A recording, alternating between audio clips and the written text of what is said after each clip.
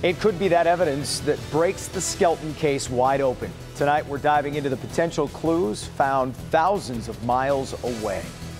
The human remains found in a small Montana town put the focus back on the Skelton boys years after their disappearance. And our Sandra Ali asked John Skelton about these new developments when she sat down with him in prison.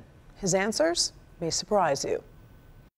Thousands of miles away from Morenci, Michigan, a discovery made in Montana back in the fall set off a chain of events, fear and panic when it became public last December.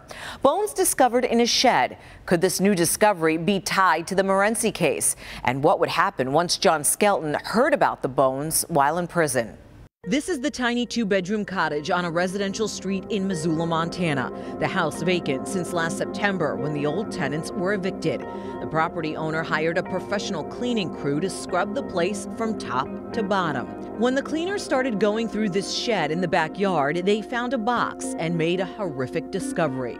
It was a pretty simple um, assessment for us because there wasn't a lot uh, of material to work with. Police reached out to anthropologist Kirsten Green at the University of Montana.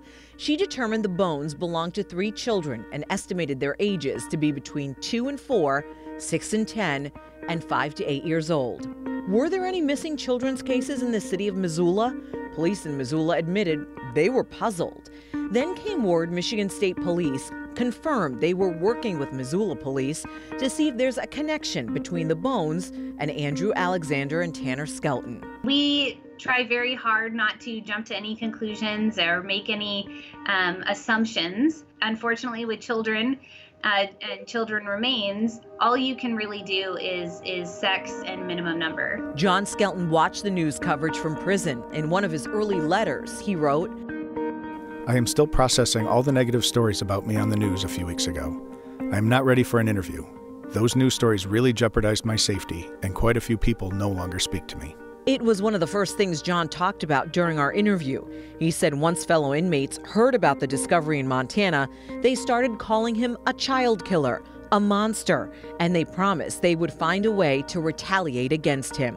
When I asked John what his first reaction was when he heard about the bones, he said, when I saw it on the news, I just rolled my eyes. When I pushed him further, he said, Yeah, those are not my boys.